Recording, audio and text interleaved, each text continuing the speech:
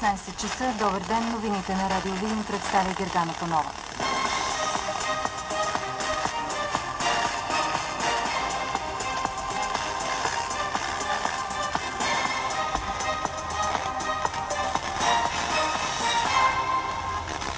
Парламентът прие актуализираната рамка на бюджета. Приходите в актуализирания бюджет са с 1 милиард 909 милиона 790 хиляди лева по-малко, а разходите са увеличени с 436 милиона 324 хиляди 400 лева сравнение с приятия в края на миналата година бюджет за 2010 година.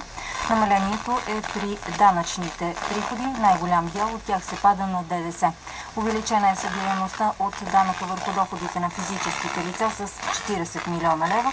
Средствата за разходите, трансферите и вноските в общия бюджет на Европейския съюз е увеличен.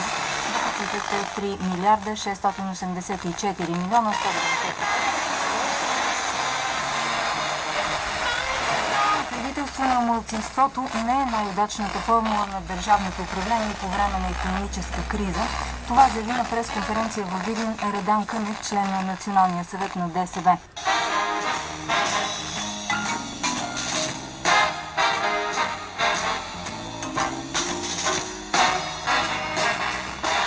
Там, докъдето ГЕРБ променят начина по който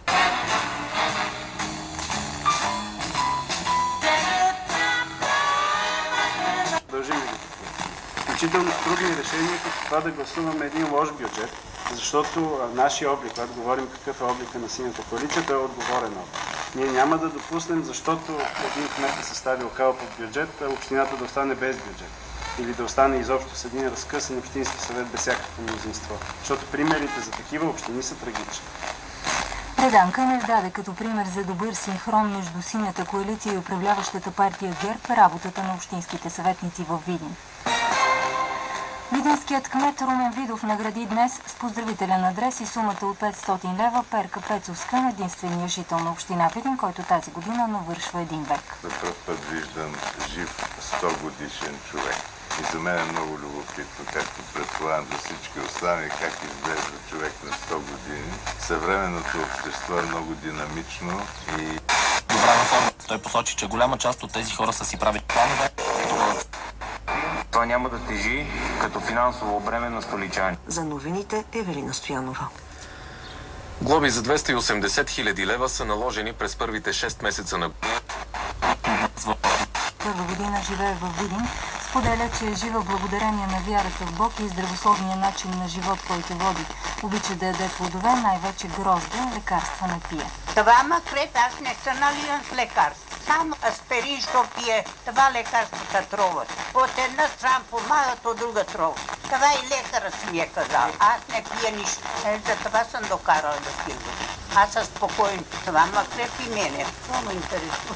Да съм жива днес, за утре, това ме интересува. Друго, какво ще ме интересува? Да може да ода да ида на разсотка, аз не мога. Навънка погледам. Много хора ме поздравяват. Не ги познавам вече. Баба Перка има един син, 78 годишният Цветан Пецовски, един внук и един правнук, 11 годишният Исак. Предложения за искане на банков кредит и участие на община Козлодуй в няколко проекта бяха сред разглежданите точки в дневния ред на редовно заседание на Общинския съвет в Козлодуй, съобщава сътрудника ни край Дунавския град Влади Кръстев. Напрежението ескалира още на първата точка, касае се предложение на кмета Румен Маноев за ползване на банков кредит за разплащане на част от дейностите проекта, придобиване на умения и постигане на обществена активност на териториите на потенциалните местни инициативни групи в селските Минус 13 гласа за, един против и 5 въздържани се. След проекта другото предложение на администрацията за финансиране на проекта по оперативна програма Административен капацитет. Бурна дискусия е имало и по точката за промяна на годишната програма за управление и разглеждане с имоти на общинска собственост и по-точно приложението с обектите за продажба през тази година. За втори път съветниците са отхвърлили предложението за участие на общината по трансграничен проект, след като вече не са се съгласили с него на заседание на 31 май тази година.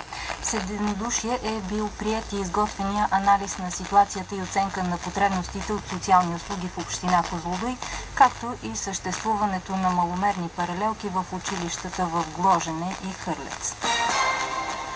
Уникално за страната ни образование откриха при последната си експедиция пещерняците от Спелел клуб Мездра в Цакомската пещера. С подробностите ни запознава сътрудникът ни Петко Котларски. Прекрасните ситрови езера са най-често срещани в пещерите, но тук по изключение джобовете са изпълнени с кристали, образования, каквито до сега не са откривани все още в България, креш като от слана. Обяснението на спелеолозите е, че образованието се е получило от пръските на уникално чистата вода, които се превръщат в микроиглички, наподобяващи кристали от лед. Цаконската пещера е била използвана като склад за промишлени цели в продължение на близо 60 години. С отварянето и се открива и нова възможност за привличане на туристи в общината. Повече по темата очаквайте след минути в цветовете на деня. Чухте новините на Радио Видим в 16 часа. Следващата ни емисия очаквайте след час.